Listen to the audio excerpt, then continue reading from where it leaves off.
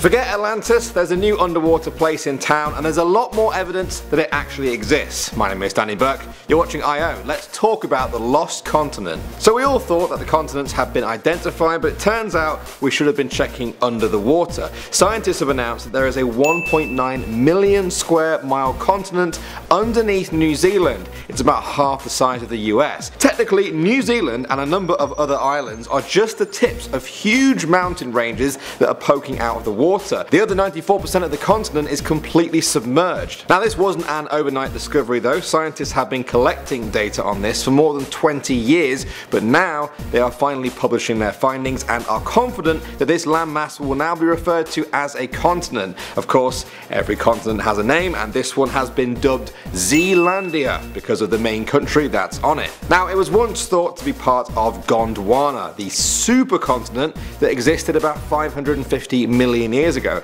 Over time, the parts of that continent split away into what we now know as South America, Africa, Antarctica, India, and Australia. Zealandia split away about 100 million years ago, and although it remained in one piece, it was submerged under the ocean. Now though, it's no longer been forgotten, and is to be added back to the list of continents along with its land-based cousins. Some family reunions take 100 million years. My name is Danny Burke, you've been watching I.O. News and information every day on everything that's worth knowing in the world. Subscribe if you haven't done so already, and we'll see you all in the next video.